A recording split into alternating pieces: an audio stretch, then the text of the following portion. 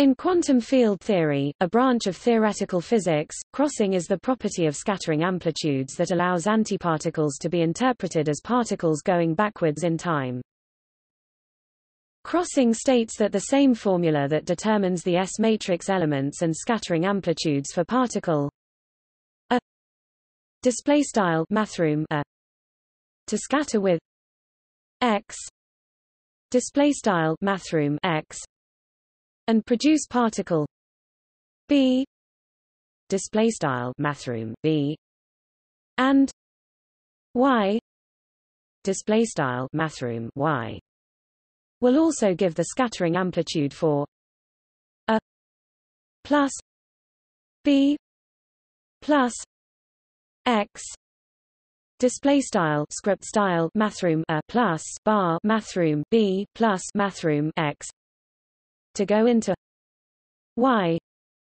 Display style mathroom y. Or for b. Display style script style bar mathroom b. To scatter with x. Display style script style mathroom x.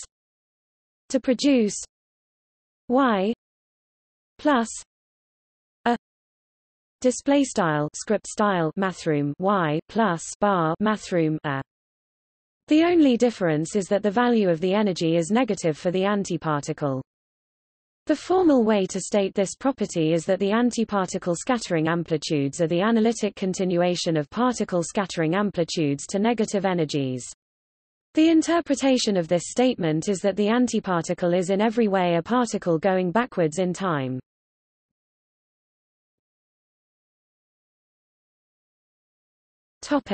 History Murray Gell-Mann and Marvin Leonard Goldberger introduced crossing symmetry in 1954. Crossing had already been implicit in the work of Richard Feynman, but came to its own in the 1950s and 1960s as part of the analytic S-matrix program.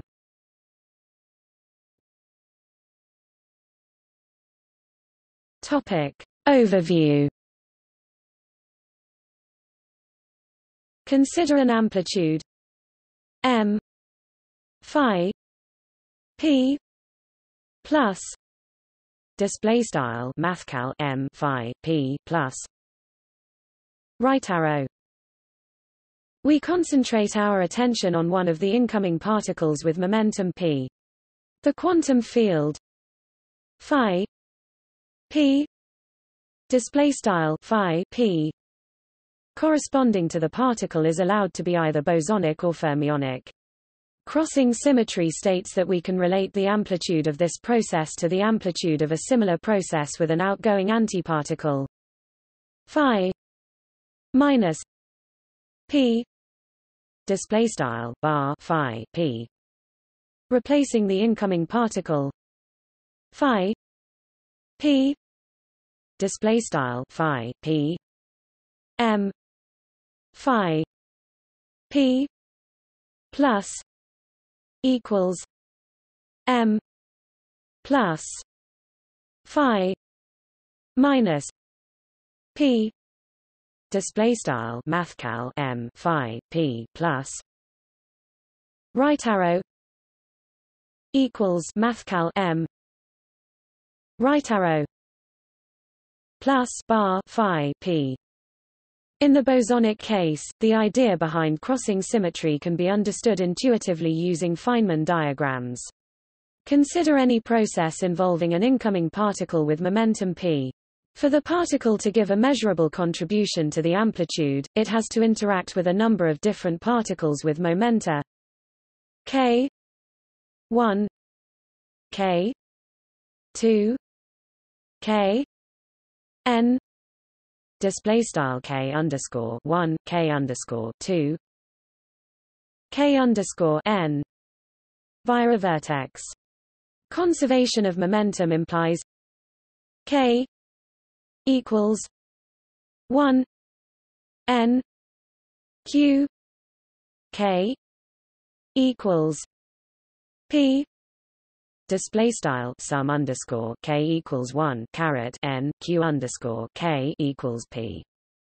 In case of an outgoing particle, conservation of momentum reads as k equals 1 n q k equals minus p display style sum underscore k equals 1 caret n q underscore k equals p Thus, replacing an incoming boson with an outgoing antiboson with opposite momentum yields the same S-matrix element.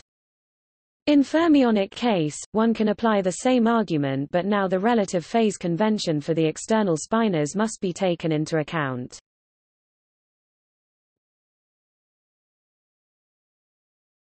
Topic. Example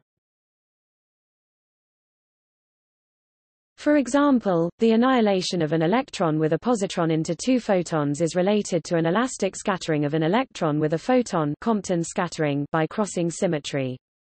This relation allows to calculate the scattering amplitude of one process from the amplitude for the other process if negative values of energy of some particles are substituted.